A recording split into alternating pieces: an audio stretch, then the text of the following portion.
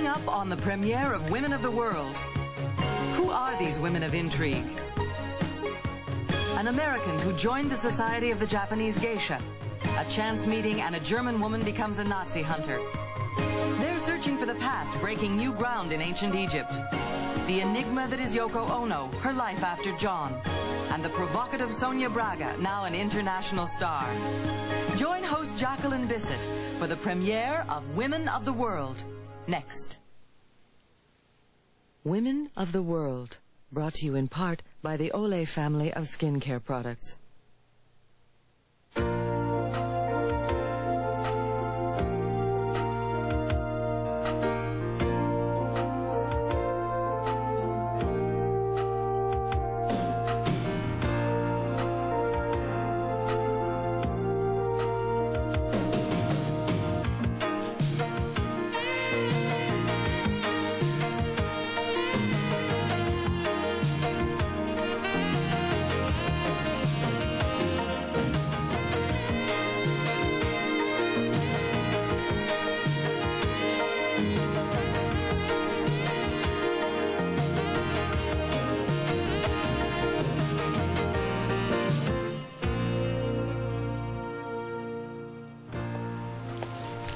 The famous British philosopher, John Stuart Mill, once said, The knowledge we have of women will always be superficial until women themselves have told all they have to tell. This is Women of the World, an international series of seven one hour specials devoted to women, who we are, and what we've accomplished.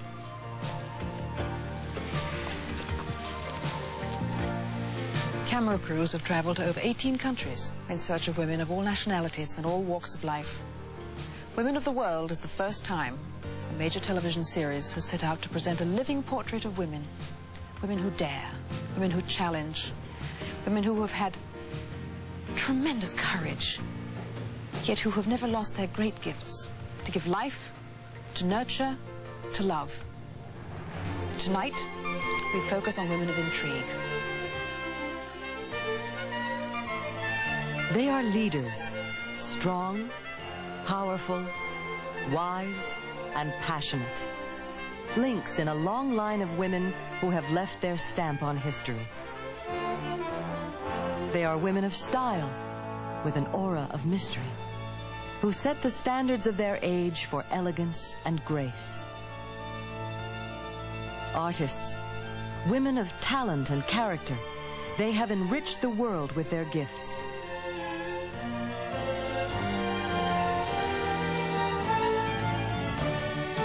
Some have given too much. They are women of great beauty who capture us with their joy and passion for life. Women who make us laugh. And women who are the very essence of intrigue, who will always remain a mystery. They are women who have pushed back the frontiers of knowledge. Some have traveled into the unknown and paid the ultimate price. They are courageous women who give freely of themselves. Their compassion and heart have made the world a better place for us all.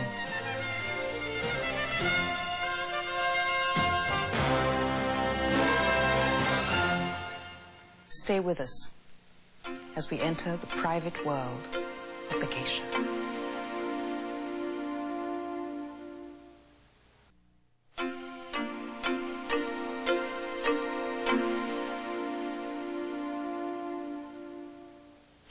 Eleven years ago, a young American woman traveled to Japan seeking to understand the world of the geisha. After many months, her okasan, her geisha mother, told her that the only way she could ever learn the mistress of the geisha was to become one herself.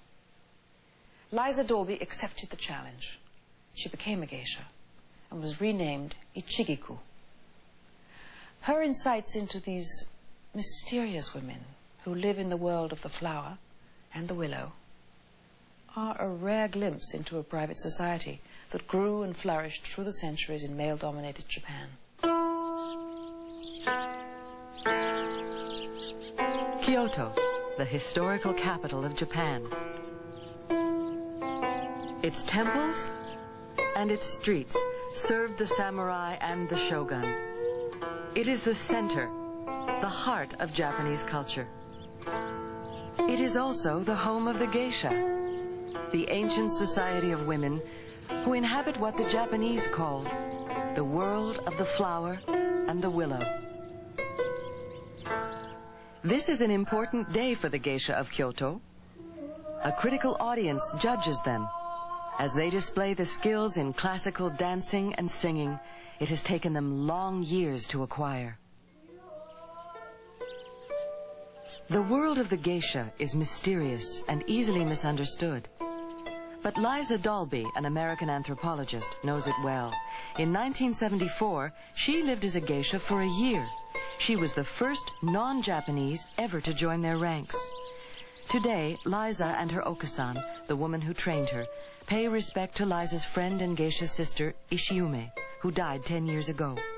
It was they who transformed a 24-year-old Californian into a geisha. Liza's experiences as a geisha have recently been turned into a CBS movie starring Pam Dawber. Liza submitted herself to the strict discipline of geisha training.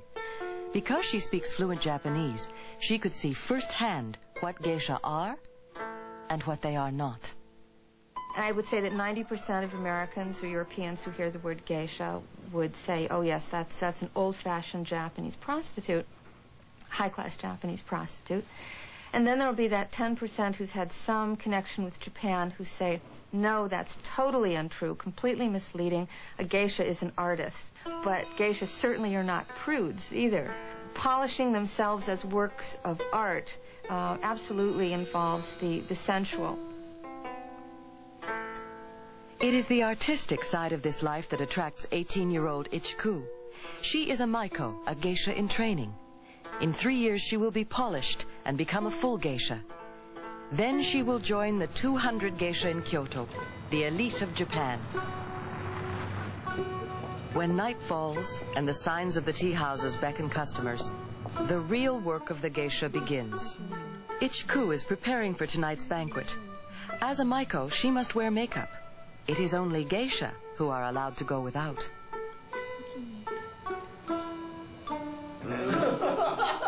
Tonight's customers wait expectantly for their geisha hostesses to appear. The geisha and Maiko arrive at the tea house, where they have been hired to entertain. The men will pay $1,500 for something they don't get at home. The kind of social entertaining, for example, that in America is absolutely part of a wife's role is just not uh, considered appropriate or necessary for a Japanese uh, housewife. It's almost like there's a division of labor, sort of a feminine division of labor in Japan, whereas in Western society we, in a sense, you could say, almost have this impossible ideal that, that combines it all. the kind of risque jokes that men can um, can do with, with geisha is something that they don't do with their wives. When a geisha reaches her usually mid to late 20s, um, all of them hope to have a patron. And this is a very, usually a very long-lasting relationship, a very close relationship. From the geisha's point of view, she finds a patron. From society's point of view, she becomes a man's mistress. While it's not the same thing as prostitution, it's not the um, sort of the thing that uh, you know nice middle-class girls aspire to you proudly present an evening of geisha entertainment to the Queen of England or to the American president, but you don't want your daughter to become a geisha.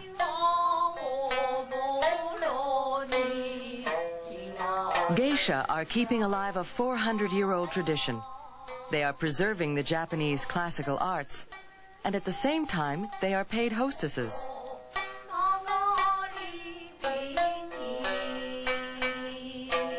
Liza asked Ichiku what kind of future she sees for herself. What are your thoughts for the future? Um, I want to have a shop. Mm. A shop, an establishment of your own? Yes. Mm. But what about boy, a boyfriend or marriage? Do you think you'd like to be married someday? Mm -hmm. well, you're still young. Time to think. This is the future that the majority of Japanese women can look forward to.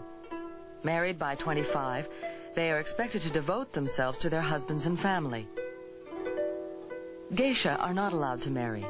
If they want children, they can only have them illegitimately. What then are the rewards? Geisha are not dependent on a husband. They control their own lives. They may not have a traditional family, but even in later years they have each other. It is a sisterhood. Liza has returned to Japan to show her old friends the book she wrote about their geisha society.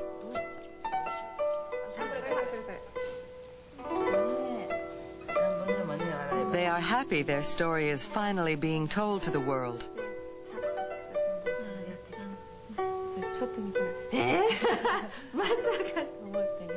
I think the women who become geisha have a certain dramatic sense. I mean, their their lives are more intense uh, in a lot of ways, uh, which is, I suppose, to say that the highs are higher and maybe the lows are lower. I mean, it's the the waters that geisha sort of navigate are maybe a little rougher. The roughest waters for the geisha may lie ahead. As the relationship between the sexes becomes more equal in modern Japan, fewer and fewer women are choosing to live in the delicate world of the flower and the willow. Next, an avenging angel seeks out Nazi war criminals.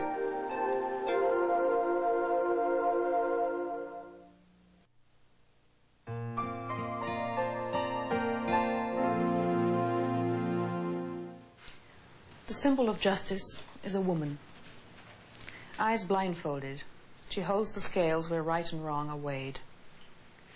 At the end of the Second World War, when the full horror of the Holocaust was revealed, it was thought the guilty would be brought to justice. But some of the greatest war criminals of our time managed to escape. For years they lived in comfort, secure in the knowledge that their past had been forgotten. But one woman had not forgotten. A solitary woman is returning from another research trip. This woman's life is in danger. She lives in a shadow world where the dangerous, violent men she pursues can strike back at her anywhere, anytime. Her name is Beate Klarsfeld. She is a Nazi hunter. Klaus Barbie, otherwise known as the Butcher of Lyon. Beate Klarsfeld pursued him for 12 years, finally tracking him to Bolivia. Because of her, Barbie is now serving a life sentence in a French jail. Beate Klarsfeld's journey from a normal childhood in Germany to a dangerous world of international intrigue is due to a fateful meeting in 1960 with a young Frenchman, Serge Klarsfeld. Beate was working as an au pair girl in Paris. Serge was a law student. They met on a subway platform and fell in love. I was uh, supposed to be here for a year to learn some French uh, in a French language school and uh, be back in Germany and becoming the traditional German housewife, uh, living for the children and uh, the nice apartment. As the young couple walked the streets of Paris together, they spoke about themselves. Beate had grown up in a Protestant home in Berlin. Her father had served in Hitler's army. She knew nothing of the Nazi persecution of the Jews. Serge told his story. He was a Jew. His father had died at Auschwitz. I didn't know in the beginning when we met in the metro that he's Jewish. Uh, and it's only uh, a little later than he told me that he's Jewish and he also told me how his father was arrested by the Germans and deported and he died in Auschwitz. So um, for me it was certainly um, it was a difficult, I wouldn't say difficult, but it was um, a little embarrassing because uh, being a German and he lost his father in the gas chambers because uh, my people are responsible for this. Both their families argued bitterly against the relationship. But despite their protests, Beate and Serge were married. Beate was unaware of what had happened to the Jews at the hands of the Nazis. It was Serge who told her the truth. Oh, then one day, they saw a photograph that changed their lives. They felt the couple in the picture could easily have been them.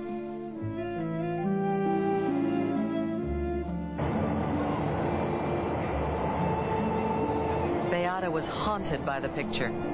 She felt tainted by the crimes of her father's generation. She was proud of being German, but the Germany she loved was also the Germany of Belsen and Auschwitz.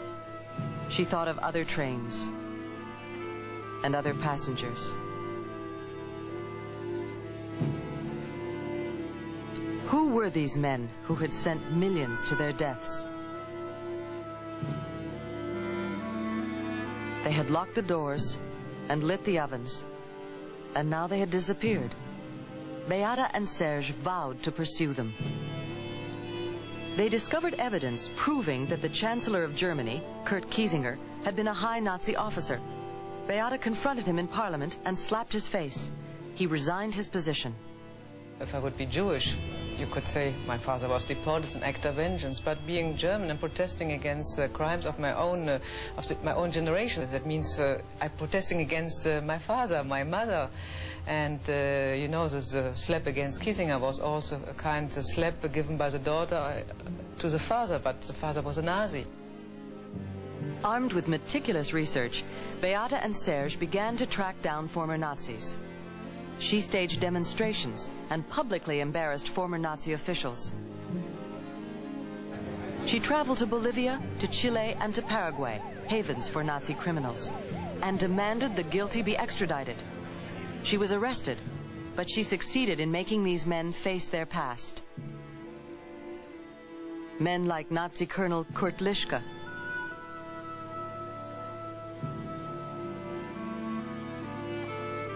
Major Herbert Hagen, both implicated in the deaths of thousands of French Jews. And the infamous SS Colonel Walter Rauff, accused of the deaths of 97,000 Jews in mobile gas chambers. The men that Beate and Serge pursue are unrepentant and dangerous. They have buried their past and will do anything to avoid exposure. Sure, the, way, the work we are doing uh, brings us enemies, uh, fortunately also a lot of friends, but enemies too. And uh, so the bomb was put into our car, we received a parcel at home, and uh, we received threats, uh, mainly if uh, our name appears in the newspapers. So then we receive threats by phone or by letter we continue to, to live a normal life because anyway there's no uh, no way uh, uh, to prevent from being hurt but um, you know you have to take it easy and you get used to it Beate and Serge try to lead a normal life. They say it's the simple family things and their children that give them the courage to overcome their fears. Serge says, the death of my father was avenged when I married Beate. She was involved, so I get involved by thanks to her because I never believed that I could do something I would say for for cause and uh, so we left a life which was surely a, a, normal life without any political problems and uh, we involved ourselves. Uh, I never believed that I could be so happy. The Klarsfelds have received international recognition for their work. Beate was given France's highest award, the Legion of Honor. I was proposed twice for the Nobel Peace Prize, and I think that's something uh, very it's exciting. It's uh, unbelievable that a German was uh, proposed by the Israelis for the Nobel Peace Prize. Despite these honors, Beate's work is far from over. Her triumph is in proving that one person's actions can make the difference. In the words of her poem, For no one asked the women who were consumed in the gas ovens, and who died in the bombings, and who shrieked under torture, whether they were women. There is a mother who smiles at the smile of her infant and cannot conceive that he may be murdered or that he may become a murderer. That is why, impelled by 50 million corpses and by all generations yet to come, My hand struck the face of 10 million Nazis, and Germany needed the hand of a woman to deliver it. When we return, we'll meet the star of Kiss of the Spider Woman, Sonia Braga.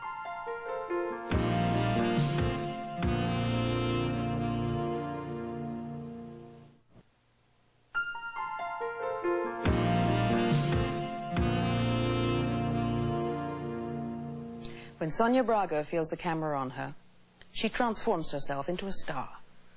A commanding, sensuous woman whose fame in Brazil is being recognized the world over. Sonia Braga has been praised for her talent and her courageous sexual explicitness. She is a true woman of intrigue.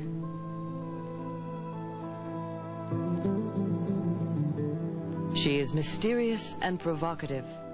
A Brazilian film star who has captured the attention of the world in the film Kiss of the Spider Woman. Sonia Braga's performance is sexy and dangerous. But who is the woman behind the role? Where does the Spider Woman end? And Sonia Braga begin? Who is Sonia Braga? I mean, in fact, my name, the whole name is Sonia Maria Campos Braga. And uh, I used to say that Sonia Braga is the, that girl, the screening. And uh, Maria Campos is the person who works for Sonia Braga. And uh, she is her secretary. And they don't like each other because one is too much a star and the other ones never do the things the star want to. Okay, that's great, Good. Hands up, a little bit higher. Sonia Braga is a photographer's dream. She's a classic Latin beauty who loves the camera. And as with most great beauties, the camera loves her.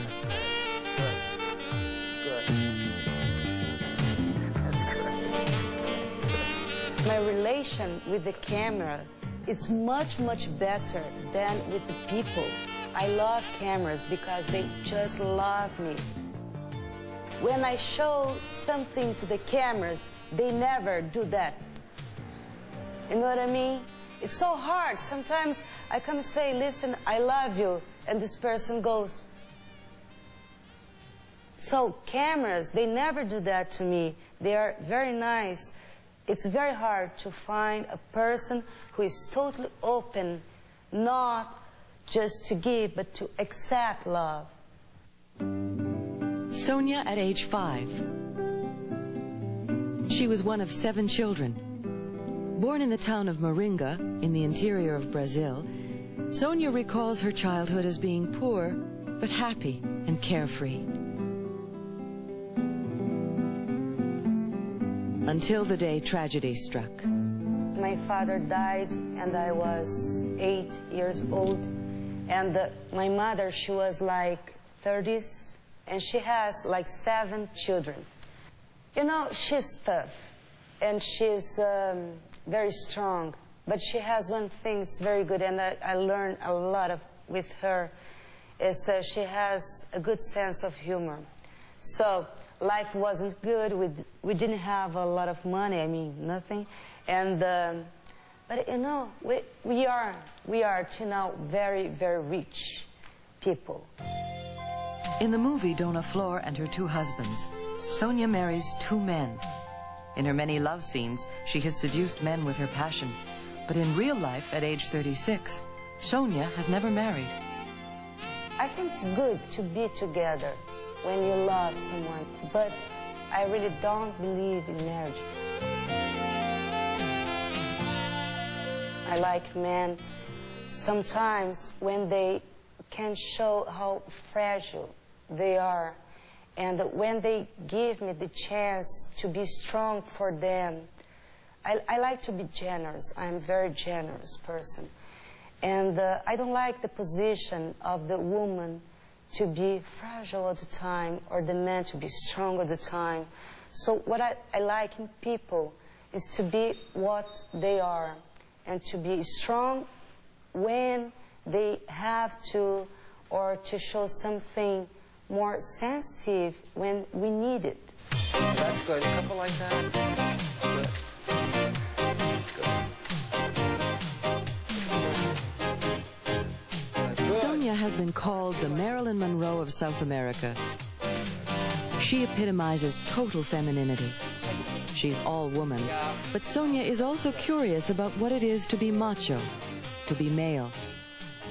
I want to be a man just two seconds, just one second to understand what's it's uh, to be a man. It's uh, so complicated as a woman to think what is to be a man or for a man to understand, for example, what is to be pregnant. It's so difficult to, to um, exchange this position very, very in deep way. So anyhow, I'm uh, very happy, happy is the woman.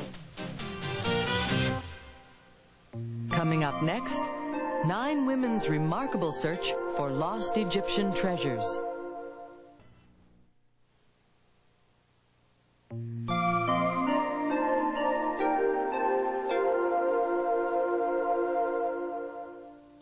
In their quest to uncover an ancient civilization, five American women from diverse backgrounds were united by their dream to save and restore precious Egyptian antiquities. They ignored those who said it couldn't be done and went to the Valley of the Kings. There they teamed up with four Egyptologists and began the first female archaeological expedition. They are called the Women of Karnak.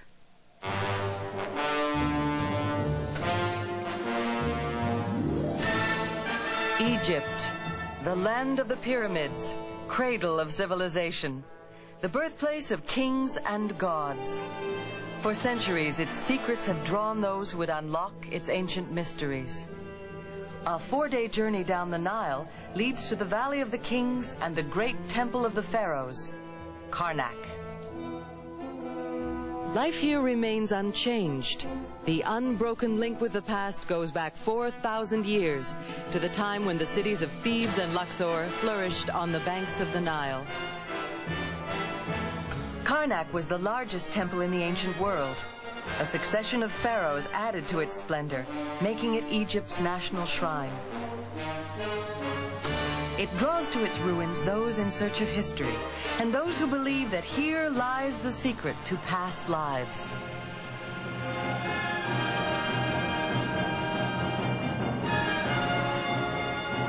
Well, we were all drawn to this one site. I think I believe in reincarnation, and I feel that we have all been here many times, not just one time, but many times through Egyptian history. This is my firm belief. This belief united the unlikely members of the world's first all-women archaeological expedition. Mary Martin, an artist and art dealer. Audrey Topping, photojournalist and author. Diane Smith, once a Radio City Music Hall rockette, today president of a business conglomerate. Beja Carlson, mother of eight and former world champion skeet shooter. And her sister Gypsy Graves, a former horse trainer, today director of an archaeological museum. Two years ago, they teamed up with Dr. Wafa El Sadiq, a respected Egyptologist, and her three assistants, who had all spent 10 years working in the field.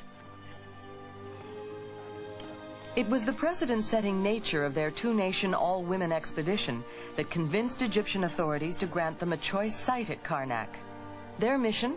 To find roads, homes, and shrines, remnants of the past that will shed new light on how people once lived. The project will take 10 years to complete. When we first came out on the site, um, we looked at the site and wondered how big the thing was. We only walked over it once.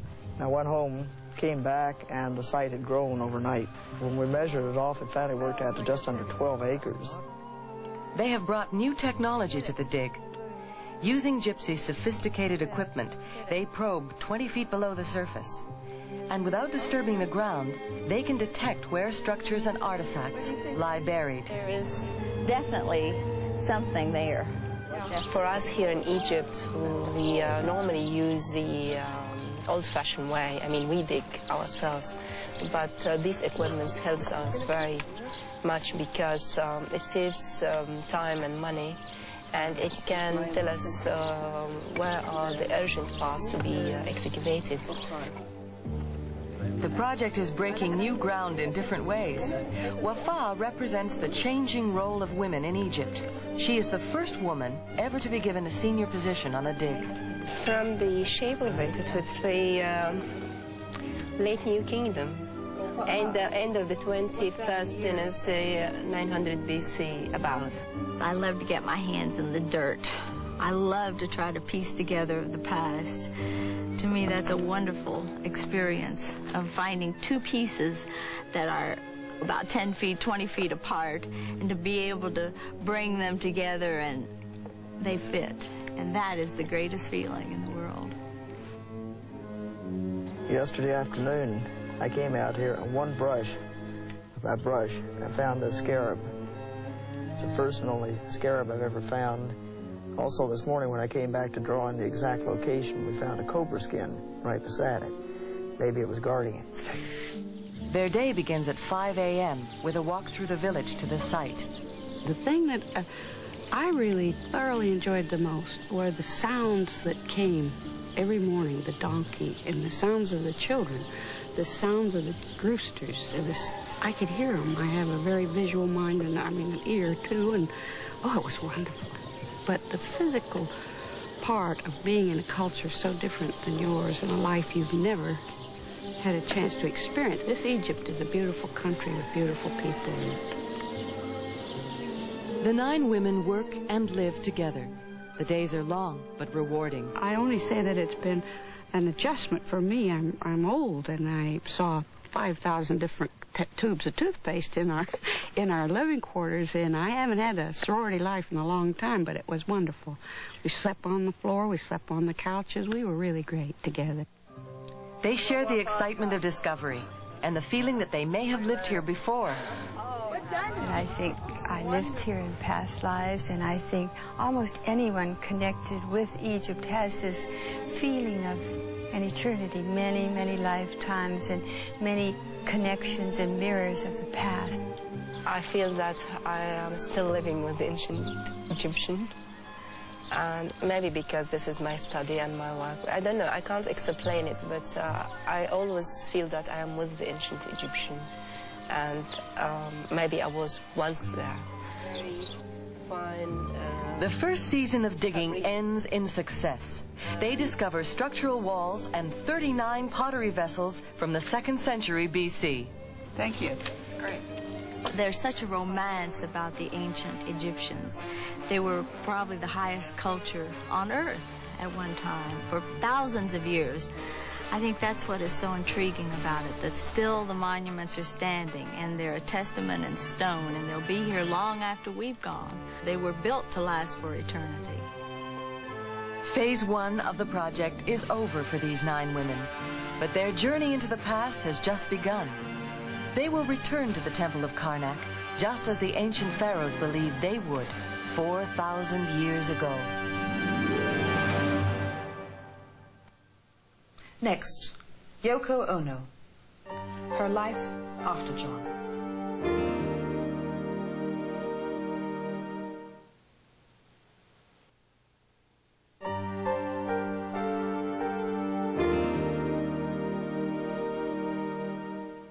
Yoko Ono. Her name reminds us of the history of our times. It was said that she'd broken up the Beatles by getting John Lennon to turn his back on the greatest pop music group of all time. She was scorned for this, but there was also public fascination with a woman that John Lennon had loved.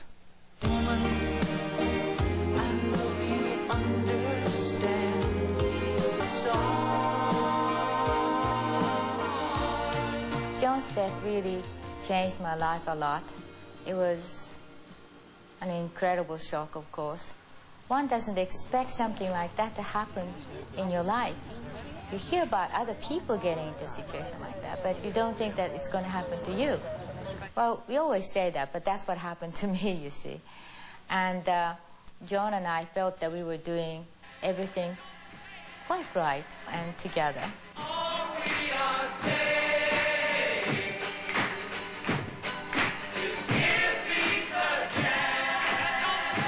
Kept on saying peace and love, peace and love, you know.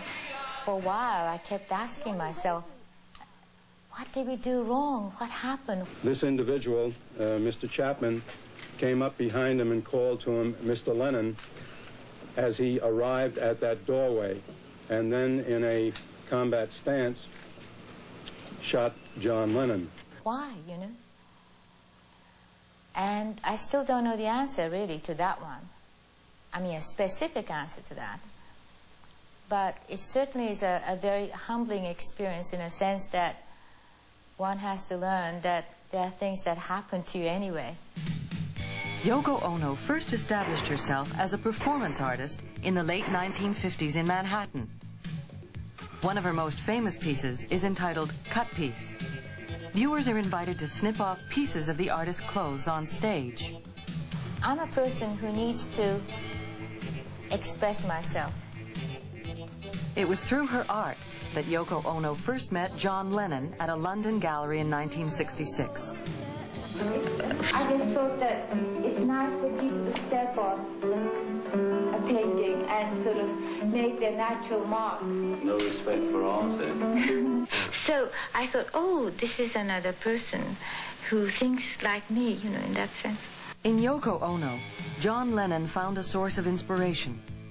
He said Yoko gave him the freedom to be himself. Together, they became partners in life, and their art and music touched our lives. In memory of John Lennon, Yoko Ono recently created an international garden of peace, Strawberry Fields. I saw people walk in there and look at the Imagine Circle and put flowers around it.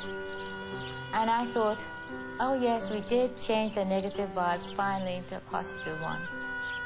To the people of the world, you are my family. This is your garden. It is a gift from John to you. And I see John smiling in the sky again. My first responsibility and my love is for Sean. He's giving me a very big energy for me to go on. And without him, I think that my mind would have been uh, half of it in the past, just living there. Uh, but somehow with him, I have to go forward. At one point, I felt very guilty that I had Sean, because when John died, it was such an incredible shock for him. And I thought, well, what did we do to him, you know? And I kept saying, well, I'm sorry, I didn't know that this was going to happen, and I hope you're all right. And maybe I feel sometimes guilty that I had you. And he said, what are you talking about, Mommy? I'm very glad you had me. I'm happy about it.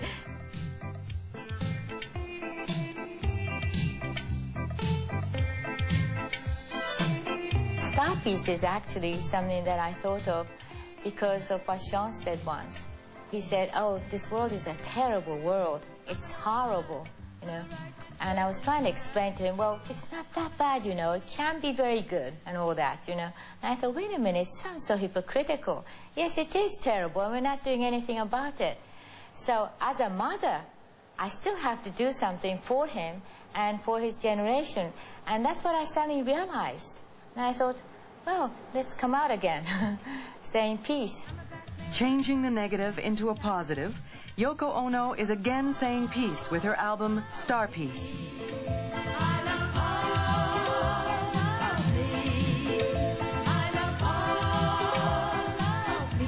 Yoko is presently on a concert tour of 33 cities around the world promoting world peace. Life is not only an experience, but it seems like it's a lesson. And whatever lesson that I have to learn, it seems like it's giving it to me. Life fits whatever you have to learn. Coming up, one woman's mission. Jehan Sadat fights for women and peace.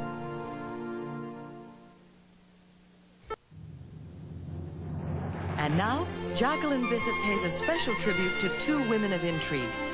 Both have triumphed over personal tragedy to become an inspiration to men and women the world over. At the age of 14, Simone Weil was sent to Auschwitz. Of her family, only she and one sister survived. Simone Weil's life since then has been a triumph of achievement. She returned to France after the war, married and had three children, while studying to become a lawyer. At a time when doors didn't open easily for women, Simone Weil paved the way. After a brilliant legal career, she rose through the ranks of government and was appointed Minister of Health. In 1979, she was nominated to the position of President of the European Parliament. Women have to face the fact they must work harder than men because they have all the responsibilities of being a woman on top of their jobs. It means accepting not humiliation, but the difficulties of not having support. Women must fight for respect, acceptance, and equality.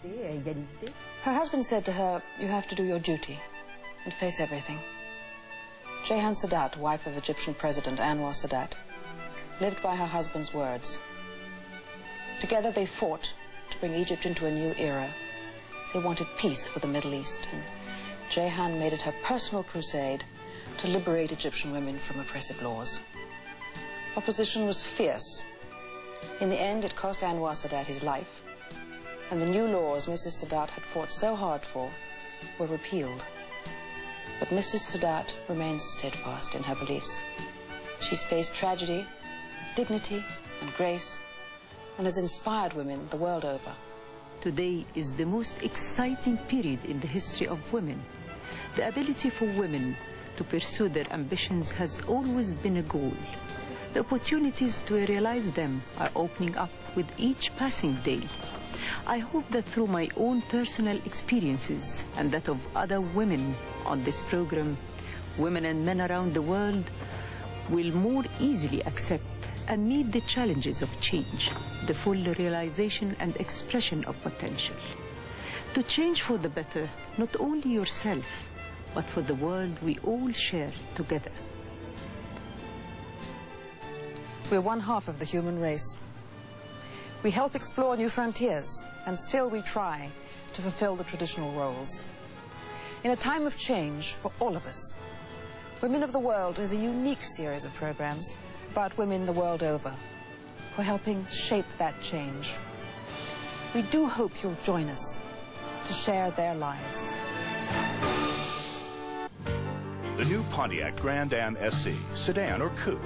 It's one of America's most exciting road cars. Grand Am SE, only from Pontiac. Women of the World, brought to you in part by the Olay family of skincare products.